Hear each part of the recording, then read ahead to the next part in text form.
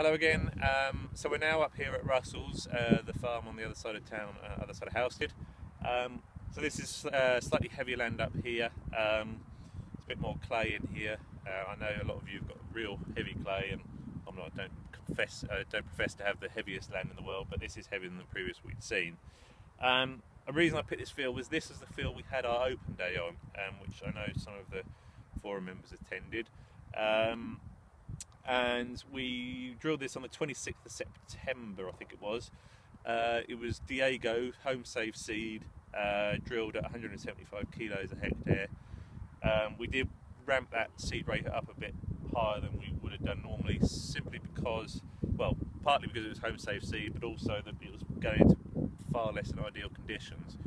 Um, about 48 hours before the open day, we had a massive, heavily, massively heavy downpour of rain. And to be honest with you, on the day of the uh, the day before the open day, I came out here and walked the field and, and very nearly made the call to, to cancel. But we uh, we sort of bit the bullet and, and, decided to go ahead with it. And um, actual fact, it worked out quite well for us because people were able to see the drill working in in slightly adverse conditions.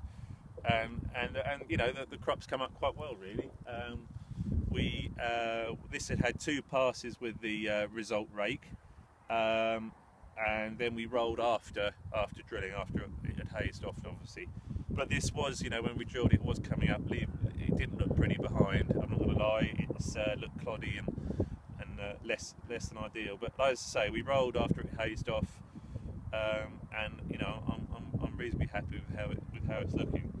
Um, so we're now going to just go and have a look at uh, the next field we'll look at. It'll be after overwinter stubble. And that was drilled the last field we drilled 12th of October. I'll just check that date before we go down the bottom there. Um, and um, we'll see how that looks. But I'm um, and then we'll also in the middle of that field we've got a bit of pheasant cover which we also drilled in Mzuri so we might as well have a look at that while we're there. Um, okay catch you in a minute